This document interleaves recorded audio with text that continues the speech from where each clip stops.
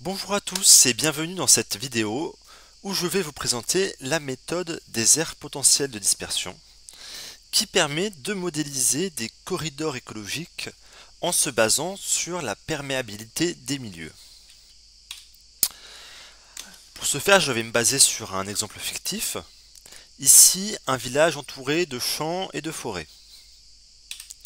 Alors ce territoire est aussi traversé par une rivière, ainsi que par une route.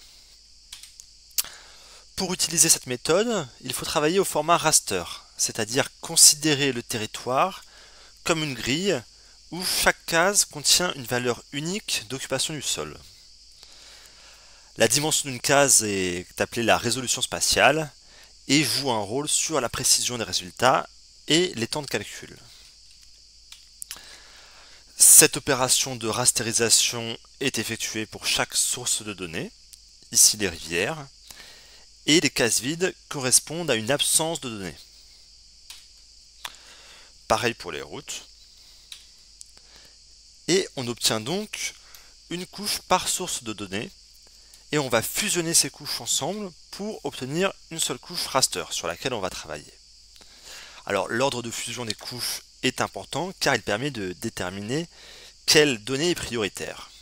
Par exemple, ici on a mis les routes au-dessus des rivières et au-dessus de l'occupation du sol. Alors à présent qu'on a notre couche raster complète, la question est de savoir à quel endroit du territoire se trouve l'espèce ou la guilde d'espèces considérée. Ici une espèce forestière, j'ai mis un cerf par exemple. Pour cette méthode, il faut avoir déjà identifié des réservoirs de biodiversité au préalable. Donc ici, les cases avec un cerf. Et ce qui est modélisé, ce sont les corridors entre ces réservoirs. Pour cela, on va calculer la dispersion depuis chaque case de réservoir dans quatre directions, vers chacune de ces cases adjacentes.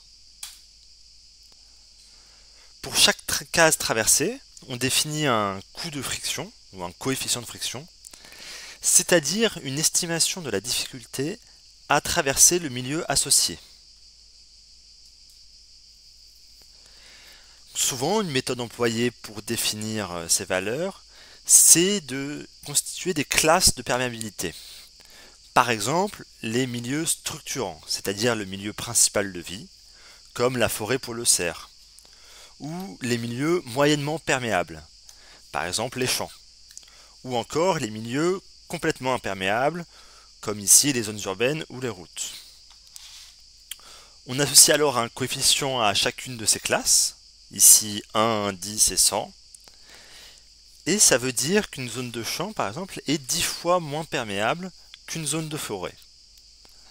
Alors le choix de ces coefficients dépend de chaque projet, mais l'idée, c'est de bien marquer la différence entre chaque classe de perméabilité et surtout, surtout, de calibrer ces coefficients. On obtient donc euh, une carte euh, où chaque case contient un coût et le calcul va s'effectuer selon la méthode des coûts cumulés. C'est-à-dire qu'on calcule pour chaque case le coût minimal depuis le ou les points de départ. Donc là, en partant de ce point de départ avec le CER, le calcul de coût cumulé s'effectue étape par étape jusqu'à ce qu'un coût minimal soit calculé pour chaque case. Si on reprend l'exemple initial, avec les réservoirs de biodiversité et les coefficients de friction, on définit alors une capacité maximale de dispersion, euh, ici 15, et on calcule l'ensemble des cases atteignables à ce coût, en s'arrêtant à chaque fois qu'il est dépassé. Ce sont les cases orange. L'ensemble des cases atteignables, ici en vert, correspond alors aux aires potentielles de dispersion, c'est-à-dire les espaces atteignables par l'espèce depuis les réservoirs de biodiversité. Et on peut considérer ces aires potentielles de dispersion comme des corridors écologiques.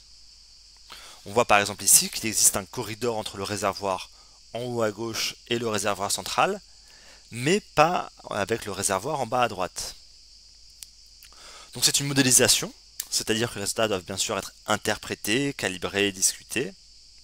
Mais cela nous permet donc d'avoir des corridors surfaciques à travers cette méthode des aires potentielles de dispersion. Donc merci d'avoir suivi ce tutoriel et si vous voulez un exemple plus détaillé et plus concret, il existe d'autres tutoriels que je vous mets ici en lien, vous montrant comment utiliser le logiciel biodispersal pour appliquer cette méthode. Merci de votre attention.